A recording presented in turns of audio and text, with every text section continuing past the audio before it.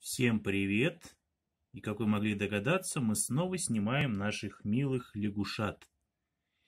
Тех, что остались у меня в наличии.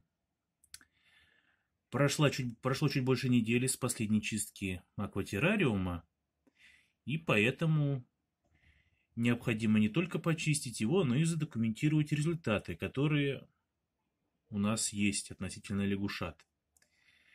В последний раз наших лягушат оставалось всего шестеро, но один из них, самый маленький, очень мало питался, несмотря на вполне достаточное наличие корма. И потому, в конце концов, через неделю, буквально во вторник прошлой недели, он скончался. Мне его безумно жаль, но Такова природа, выживает сильнейший. Зато остальные пятеро лягушат живы, здоровы и растут. Это можно видеть по их размерам. Конечно, сейчас достаточно трудно оценить, насколько они выросли. Но для того, чтобы сравнение было более корректным, вот на эту деревяшку, на которой мы раньше часто снимали лягушат, мы добавим немножко корма, а именно дрозофилы, опыленный витаминчиками. Естественно, лягушата голодные, они будут ее кушать.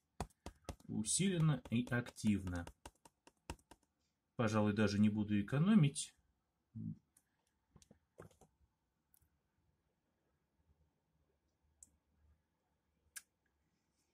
И первый, кто увидел, сразу же начинает кушать. Конечно же, сейчас лягушата несколько сбиты с толку. Это непривычная для них среда обитания. Но, тем не менее, пусть первым, конечно, покушает этот лягушонок, он у нас самый маленький по сравнению с остальными. Но, тем не менее, скоро к нему присоединятся и остальные. Вот они уже видят движение и, соответственно, пытаются урвать себе небольшой кусочек.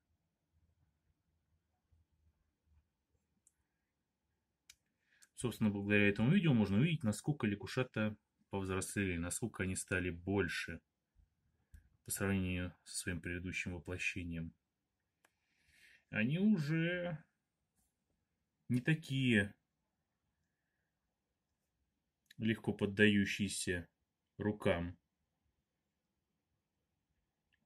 И всячески пытаются удрать.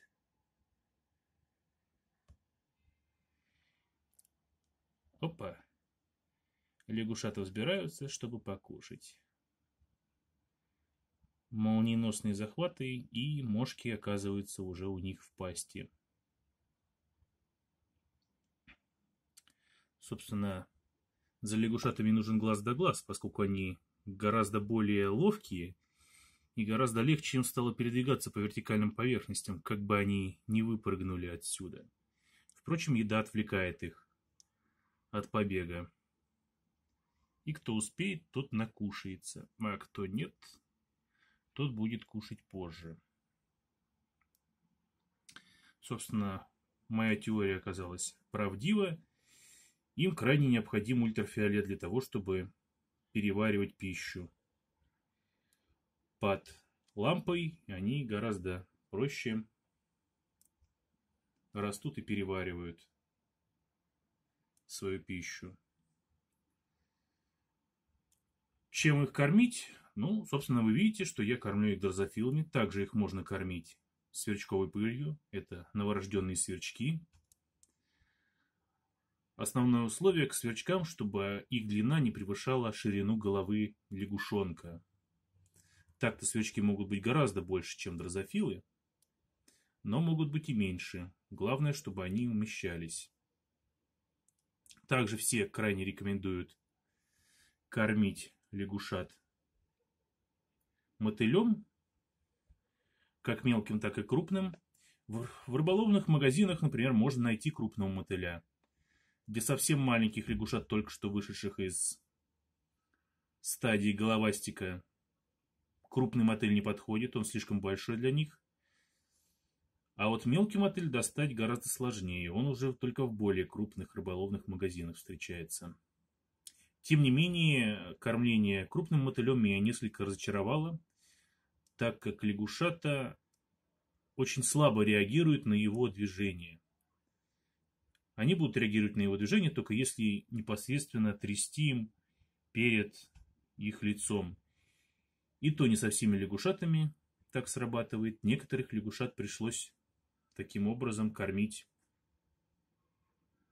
искусственно.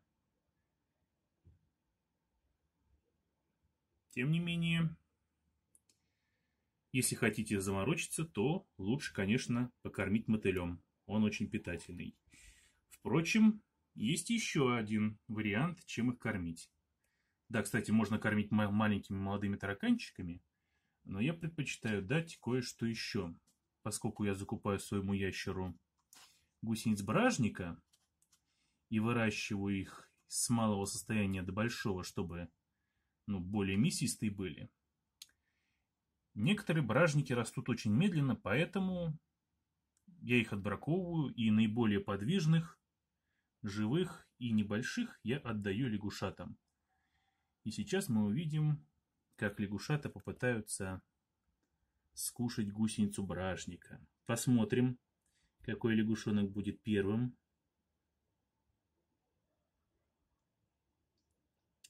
Самый маленький голодный попытается, но он не сможет съесть такую громадину.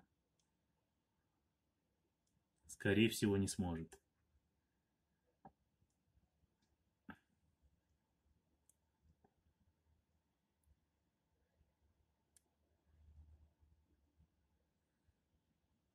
Вот мы видели промежуток, когда гусеница практически не шевелилась, и только когда она начала шевелиться, она привлекла внимание нашего лягушонка.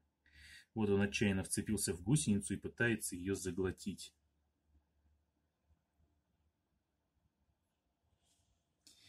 Ничего страшного, для них это фактически естественное. И если сможет, он ее нормально переварит и в конце концов прибавит к росту. Давай, давай, старайся. Они помогают себе руками, пропихивая как можно глубже эти несносных гусениц. А, скрылся за деревяшкой. Ну ничего. Остальные оказались не так расторопны. Поэтому им гусеница не достанется. Достанется только то, что поймают. Кстати, насчет освещения, пока наши подопечные за бревнышком справляются с гусеницей. Вот тут у меня почищенный наш акватеррариум. Как я выяснил, даже такие маленькие лягушата очень быстро загрязняют террариум, очень много фекалий остается, особенно когда они достаточно сыты. Поэтому все-таки приходится менять чаще, чем раз в две недели. Вот, например, сегодня прошло буквально 8 дней с последнего, с последнего сеанса очистки. Ну-ка, вот наш герой никак не может доглотить, но уже в процессе. Одновременно и переваривает, и заглатывает. Постепенно заглотит полностью. Ну, а мы чуть вернемся к нашему акватеррариуму. Собственно, раз или два в день, с утра обычно до ухода на работу, и по приходу с работы я беру вот такой вот лампу с зажимом и пристегиваю к стенке террариума. После чего врубаю свет. Сейчас буквально минуту. И вот такое вот освещение я держу на ночь несколько часов. 2-3 часа под интенсивным излучением лягушата будут греться, переваривать пищу, которую съели, и, соответственно, расти. И вот таким образом последние пять лягушат не только подросли, не только выжили, но и подросли.